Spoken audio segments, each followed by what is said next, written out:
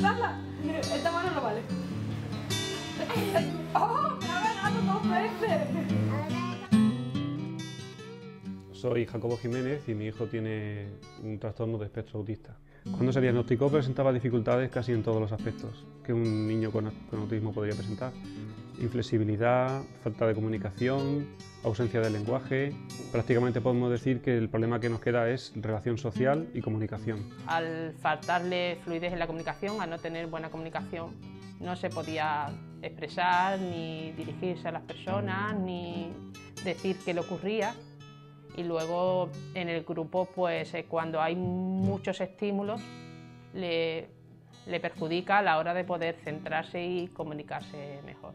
Es un niño que tiene una risa contagiosa, tiene una personalidad eh, bromista, tiene autismo, pero tiene además, eh, le gusta hacer bromas y, divertirse y que le gusta asustarte y reírse de, de que te ha asustado.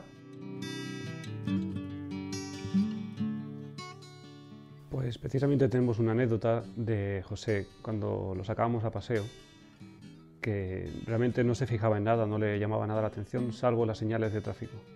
Sobre todo las que aparecían el típico muñeco que camina, por ejemplo, en el paso de peatones. José se quedaba mirándolo y sonreía, como si le hiciera gracia. Y se quedaba, se podía quedar allí cinco minutos mirando el muñeco.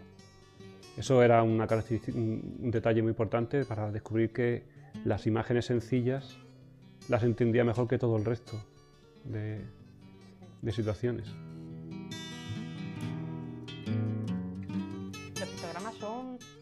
Tarjetas, imágenes, fotografías, dibujos que ayudan a la comunicación visual. Yo lo definiría como mm, lenguaje visual, pequeñas imágenes con un formato determinado que representan situaciones, hechos, objetos, principalmente Internet. Internet ha sido una gran ayuda en la página de Arasac, por ejemplo, de la Comunidad de Aragón, hay una base de datos de pictogramas muy, muy buena.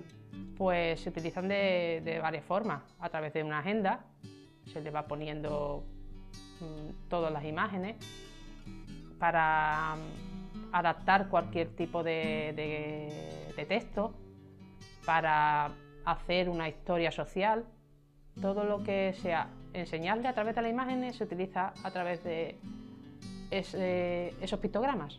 Realmente mm, yo creo que no hay una forma estándar de utilizarlos, porque cada niño tiene una facilidad con respecto a la forma de entender el mundo. Por ejemplo, José entiende muy bien tanto fotos como pictogramas. Hay niños que entienden mejor los pictogramas, cuanto más sencillos mejor. En el caso de José no tenemos ese problema, nos vale cualquier tipo de pictograma.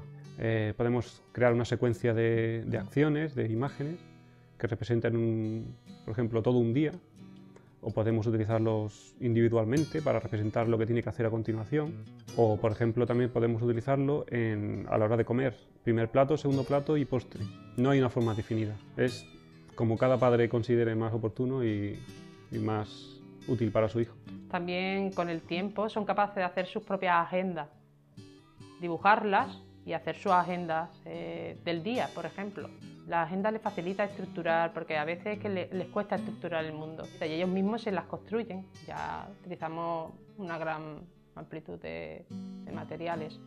Los adaptados y sobre todo los que creamos nosotros también.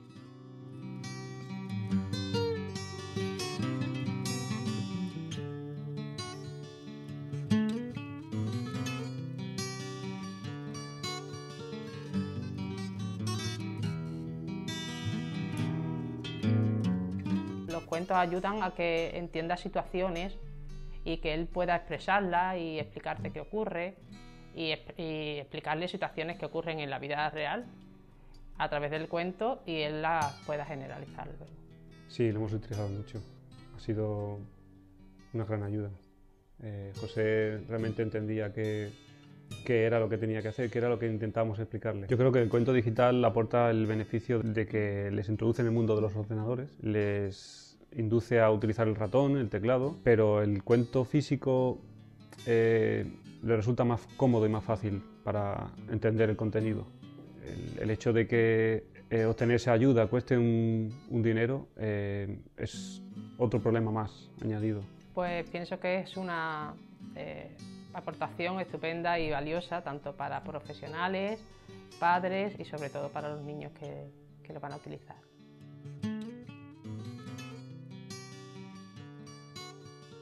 Hemos ido de la mano del proyecto mm, gracias a que fue su, su prima Miriam, la prima de José, nuestro hijo, la que lo empezó. Pues el proyecto Aprendices Visuales para mí es, va más de lo que es la, un proyecto solidario en la elaboración y distribución de, de material, porque su espíritu es el de que la sociedad conozca, comprenda y respete qué es el autismo. Para mí es un proyecto de divulgación, de, no solo del contenido, de los cuentos, del material adaptado, sino del autismo. Pues nosotros hemos aportado ideas, hemos, todo el material que nosotros hemos desarrollado lo hemos puesto a disposición de quien lo necesite. Principalmente como asesorando como madre a Miriam en sus preguntas y en sus dudas, como se iba desenvolviendo José y difundiéndolo todo lo posible.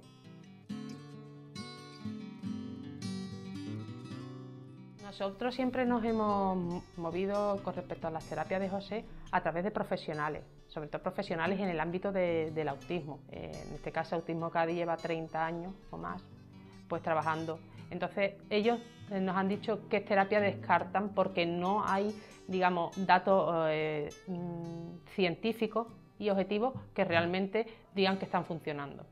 Entonces, sí que sabemos que las terapias pedagógicas funcionan las terapias en las que se le enseña al niño a, desenvolverse, a comunicarse y a entender el mundo que les rodea.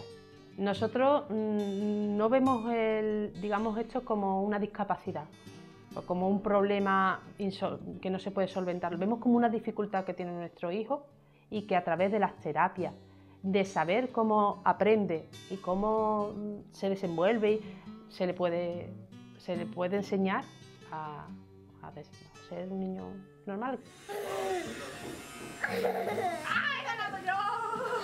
José, si no se sabe qué tiene, no es detectable a simple vista, porque es un niño que vive, disfruta, juega, interactúa.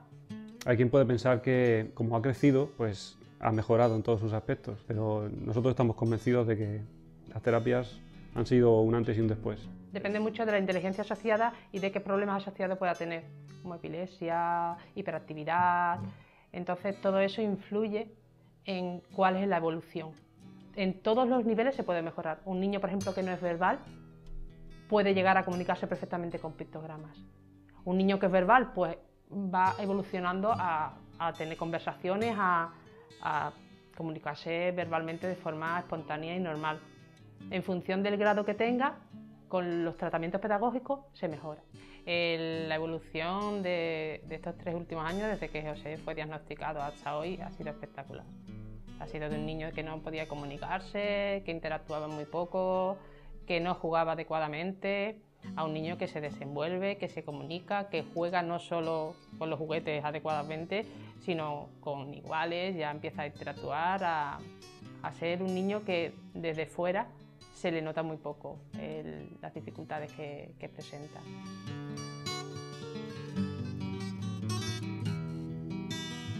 José sienta en el debate y hace caca.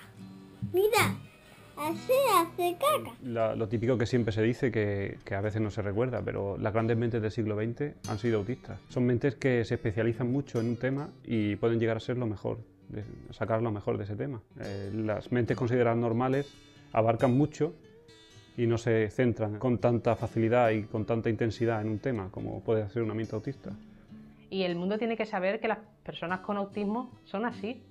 Hay algunos ya mayores que no tuvieron la oportunidad de que se les tratase de forma adecuada. Incluso las terapias que hace 20 o 30 años perjudicaban porque se creía que el trastorno la dificultad era totalmente, no tenía nada que ver realmente con lo, con lo que es. Entonces es importante pues que la sociedad sepa qué es y que son personas que se pueden integrar perfectamente y que tienen sentimientos y, y que son capaces de enseñarnos a percibir el mundo y a vivirlo de otra forma. Con una buena terapia el autismo no es un problema y el mundo necesita el autismo.